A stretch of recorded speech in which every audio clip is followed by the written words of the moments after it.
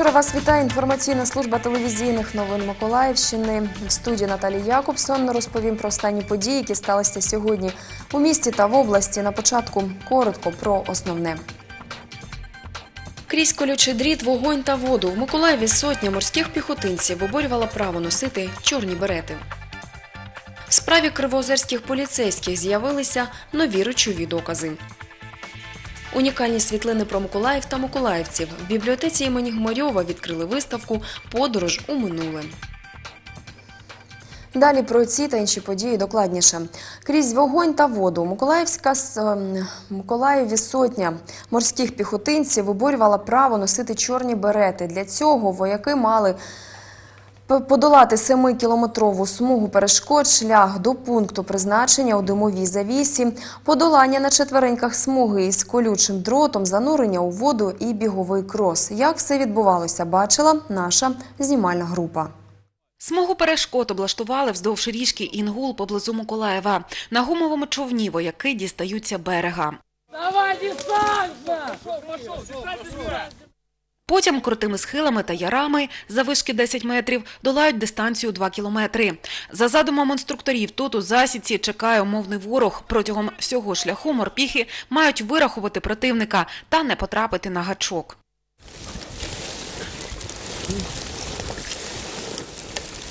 Стан- стандарту нема. От, е, прив'язувались до, до досвіду, тому що частина е, третій рік е, виконує бойові завдання. От, є вже певний досвід, і вже знаємо, що військовослужбовцю потрібно у підготовці.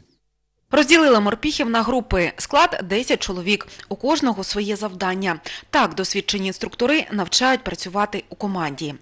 Цим хлопцям я бажаю е, наснаги та саме головне ніколи не казати е, я не зможу.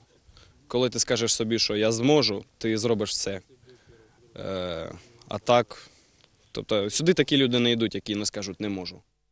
Після відпрацювання дій в різних видах ведення бою на суходолі – морська фаза. В повній амуніції по поясу воді морпіхи йдуть далі. Вперед, с водички пошли! Давай, давай, дальше! Серед тих, хто сьогодні долав смугу перешкод, контрактники та строковики. Це свого роду ритуал посвяти у морпіхи. Військові підготували все так, аби умови тут були максимально наближені до тих, що у зоні проведення АТО.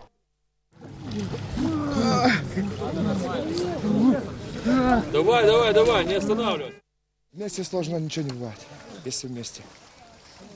Все хорошо, все отлично. Ви відчуваєте себе справжнім морським піхотинцем зараз? Да. Да, зараз чувствується. Вже завтра на центральній площі Миколаєва в урочистій обстановці ці хлопці отримають заслужені чорні берети та оголосять клятву морського піхотинця. Наталя Приходько, Олександр Попов, телевізійні новини Миколаївщини. Герої не вмирають, доки їх пам'ятають. У Миколаєві відкрили стелу меморіал військовим 36-ї окремої бригади морської піхоти, які загинули під час виконання бойових завдань в зоні проведення антитерористичної операції. Підрозділи морської піхоти були залучені до боротьби з сусідом-агресором у вересні 2014-го. Другий рік участі в безперервних збройних сутичках з ворогом міцно загартували бійців та їхніх командирів. Але не буває бойових дій без втрат, навіть коли йдеться про елітні війська.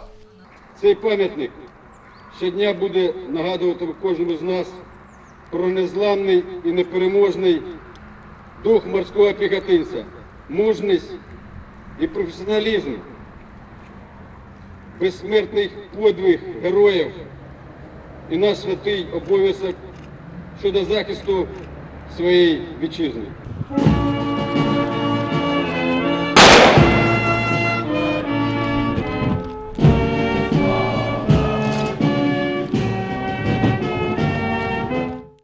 морская пехота погибли под Мариуполем.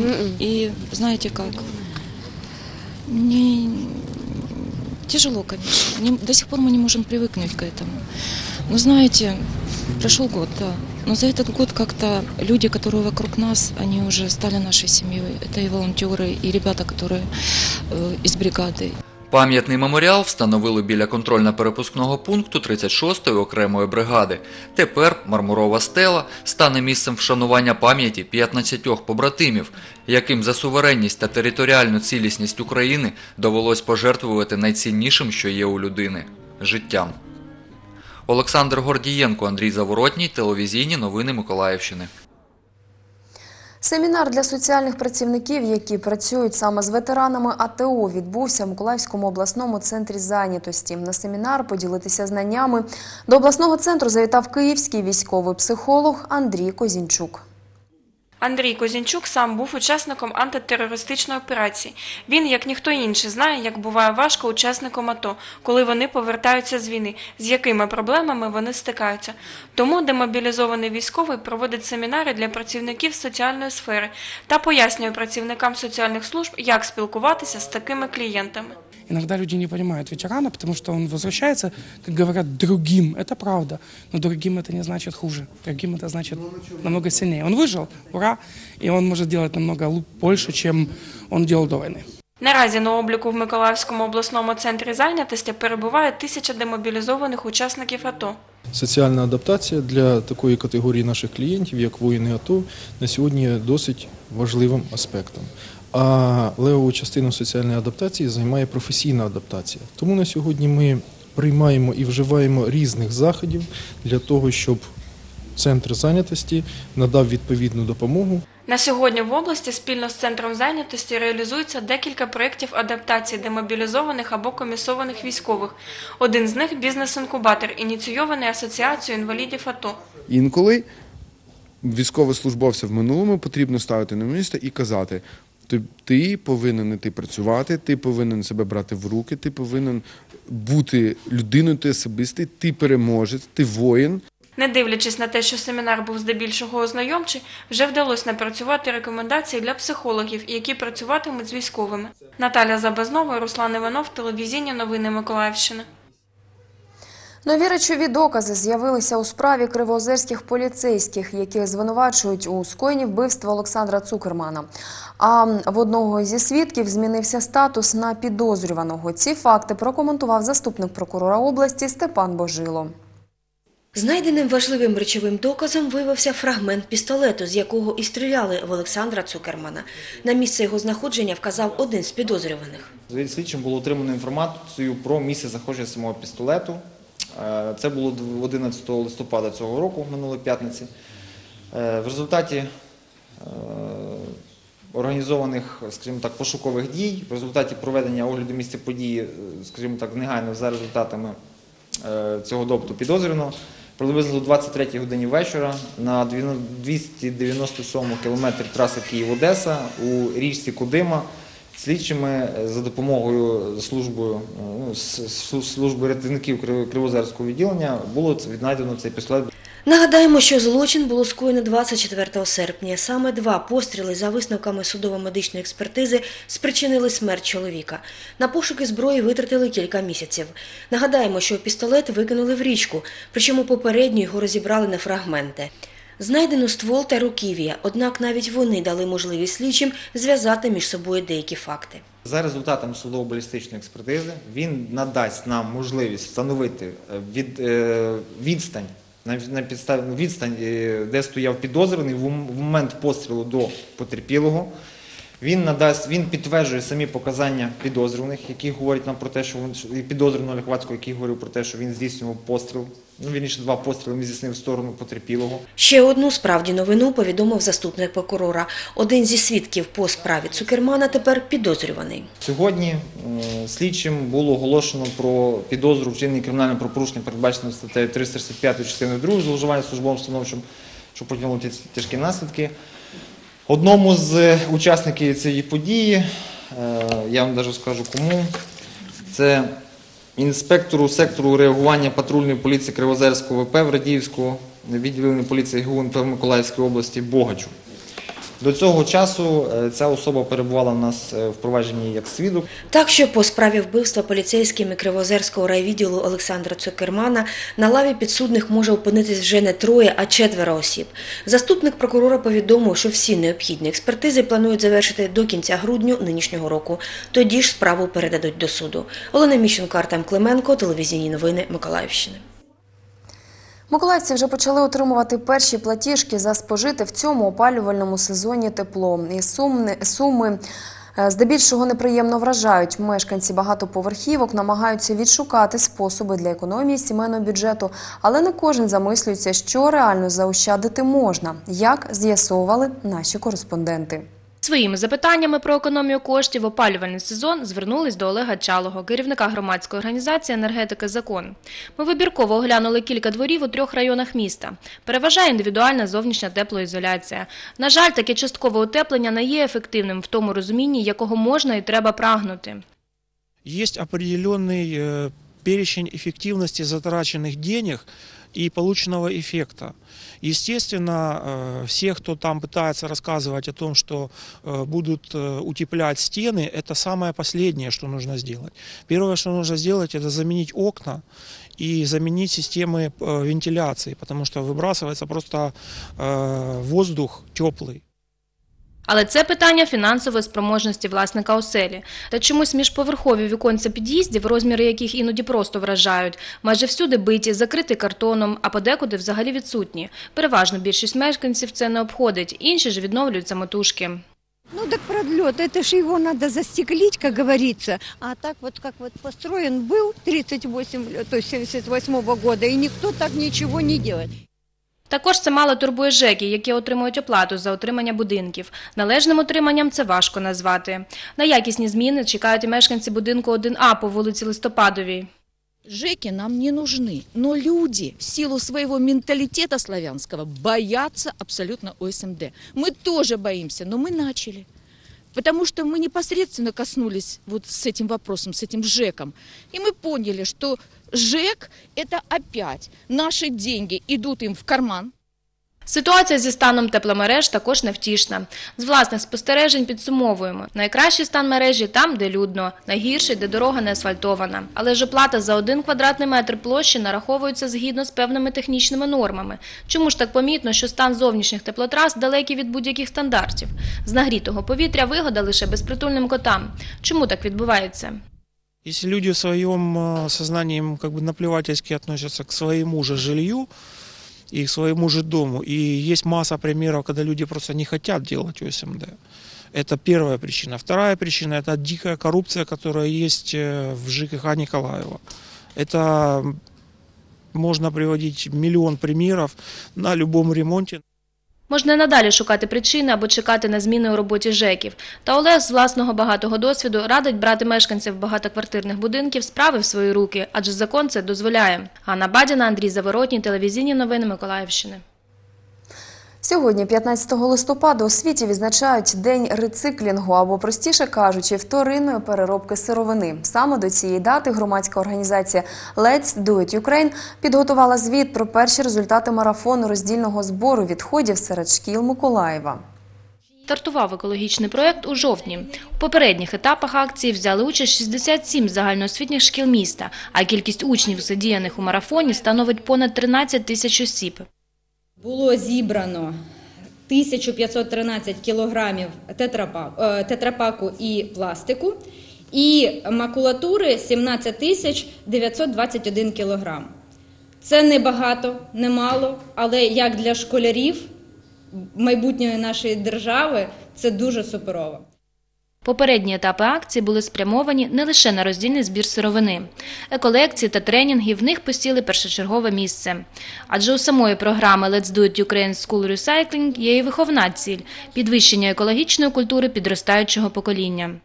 Дійсно, Миколаїв проривний у цьому проєкті, тому що ми перші в Україні, і це дуже гарні показники. Школами-переможцями попередніх етапів проєкту стали перша, 24, 54 школи та Миколаївський муніципальний колегіум. Четвірка лідерів отримає подяки, а також контейнери для роздільного збору сміття та подальшої переробки. Акція триватиме і надалі. Ганна Бадіна, Олександр Пан, телевізійні новини Миколаївщини. А для учнів Миколаївської загальноосвітньої школи номер 57 імені Тараса Шевченка відбувся інформаційно-роз'яснювальний захід, присвячений Дню проти сексуального насилля над дітьми. Школярам розповідали про проблеми протидії торгівлі людьми та експлуатацію дитячої праці. Захід відбувся у рамках всеукраїнської акції «16 днів проти насильства. Організатором дійства виступила громадська організація Ніка, зокрема її керівник Марина Сорока, яка щороку у середніх та вищих навчальних закладах проводить подібні заходи. Пані Сорока та її організація ось уже як 4 роки надає допомогу людям, які постраждали від насильства різного роду. В школе мы решили рассказать и о торговле людьми, о торговле детей, э, с- э, трудовая эксплуатация, сексуальная эксплуатация, физическое насилие в отношении детей. Я всегда э, хоть пытаюсь поддержать людей. Как правило, это женщины, либо дети э, от 14 до 18, они тоже уже сами звонят, потому что и случаи э, сексуального насилия, изнасилования в семьях, Школа приділяє багато уваги дітям із проблемних сімей. Такі родини беруть під особливий контроль, проводячи постійну роботу з дорослими та школярами. З цією сім'єю працюю я, працює психолог. Ми співпрацюємо з інспекторами із нашого соціального центру міського. Навіть залучаємо і поліцейських. То вся робота, яка можлива з нашої сторони, нами проводиться. Ми е, дітям весь час говоримо, що всі проблеми, без проблем жити не можна. Проблеми завжди будуть, е, вони якісь конфлікти постійно між ними будуть, але все це можна вирішити вербально, словесно, через е, спілкування, через дорослих, через е, вчителя в першу чергу. Мета подібних заходів на прикладах донести до школярів проблеми, пов'язані з торгівлею людьми, експлуатацією дитячої праці, щоб учні краще знали свої права. Потрібно говорити завжди правду своїм батькам. Якщо насильниками стають батьки, то вчителям або ж е, ну, психологу шкільному. В першу чергу треба допомогти і порятувати цих дітей, тому що насилля наскільки сильне і велике, ми е, стаємо байдужими, дивлячись на те, що відбувається навколо нас. Тільки всі разом, всім суспільством, ми можемо вирішити цю проблему. Наскільки вона вражаюча, наскільки вона болюча, що тільки всім суспільством можемо вирятувати цю ситуацію. В Україні кожна п'ята дитина у віці до 18 років стає жертвою агресії та жорстокості дорослих. При цьому лише у 17% випадків прояви насилля до дітей відбуваються з боку незнайомців. Олена Спірюгова, Олександр Пан, телевізійні новини Миколаївщини.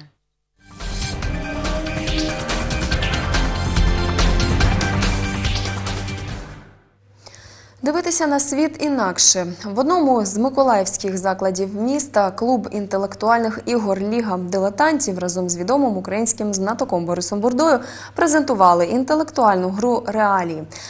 Запрошені на захід школярі та студенти спробували свої сили у розумовому поєдинку. Організаторами заходу виступили члени щойно створеного Миколаївського клубу інтелектуальних ігор Ліга дилетантів. Він об'єднав людей, які прагнуть розвиватися та розвивати наше місто. Таку провокаційну назву інтелектуали вибрали не випадково. интеллектуальным людям, развитым, присуще чувство юмора. Поэтому, а, кстати, дилетант, слово дилетант, оно происходит от латинского delatio, что значит удовольствие. Мы дилетанты, мы готовы учиться, мы готовы впитывать э, знания, впитывать информацию и впитывать умение мыслить от других людей. На презентацію запросили відомого знатока України Бориса Бурду. Власник трьох кришталевих сов клубу Що де коли привіз до нашого міста інтелектуальну гру Реалії, задум якої виник ще на початку 80-х років минулого століття.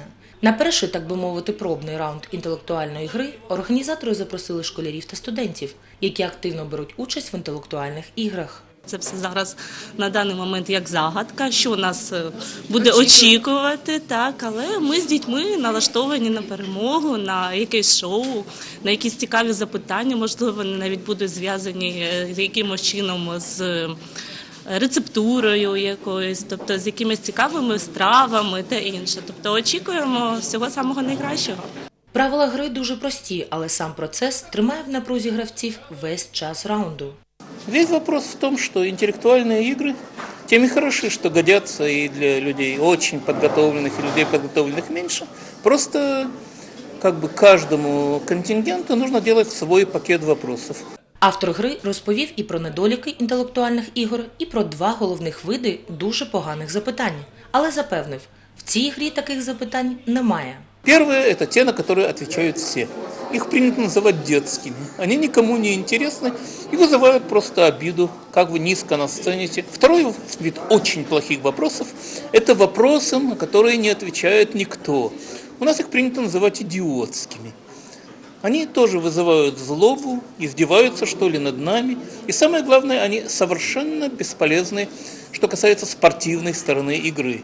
Перший тур інтелектуальної гри реалії відбудеться 2 грудня, тож кожен зможе спробувати свої розумові здібності, пам'ять та удачу і, можливо, навіть здобути перемогу. Катерина Лисюк, Артем Белібов, телевізійні новини Миколаївщини.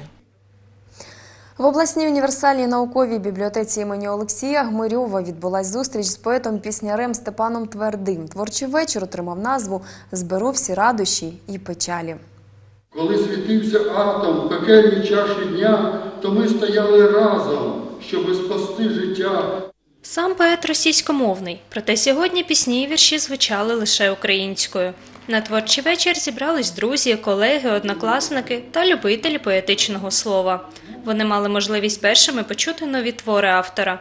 Серед присутніх були і люди, які вперше познайомились з його творчістю. Викладаючи свого часу літературне краєзнавство у вузах, е, з творчістю Степана Твердого не була знайома. Але людина на нашій батьківщині пише про те, що думає е, про свій край.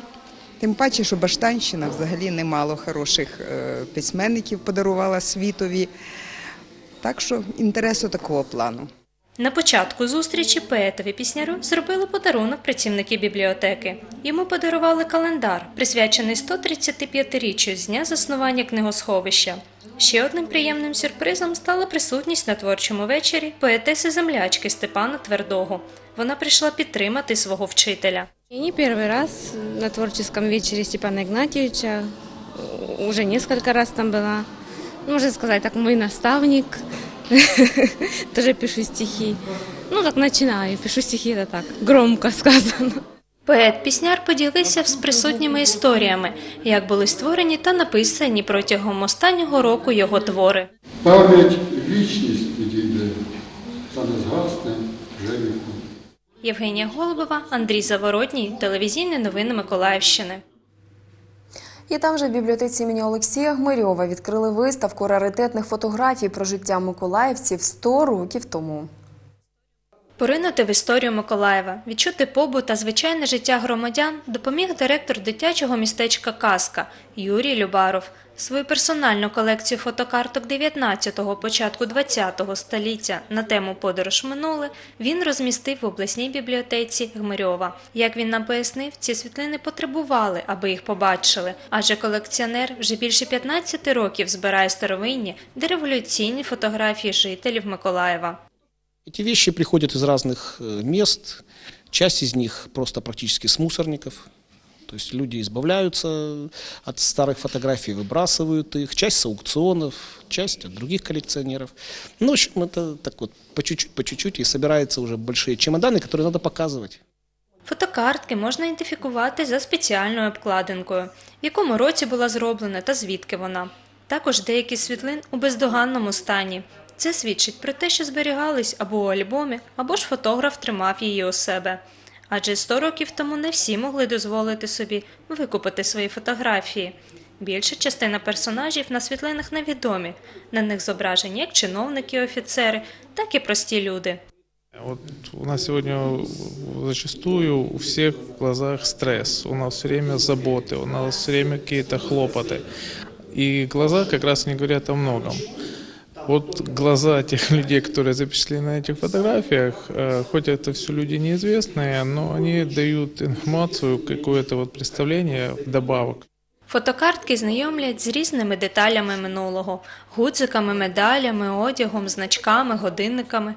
Це допомагає простежити, як змінювалися костюми, взуття зачіски, зрозуміти, чим жили і як мислили люди тієї епохи.